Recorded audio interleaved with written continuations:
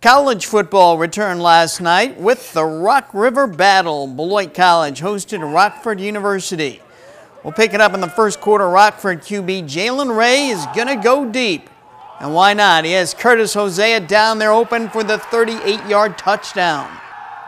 Second quarter, Ray again throws for the end zone, and again it's Hosea for the touchdown and a 14 0 lead.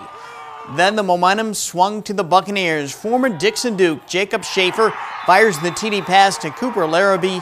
The Buccaneers defeated the Regents 34 to 27. And the Big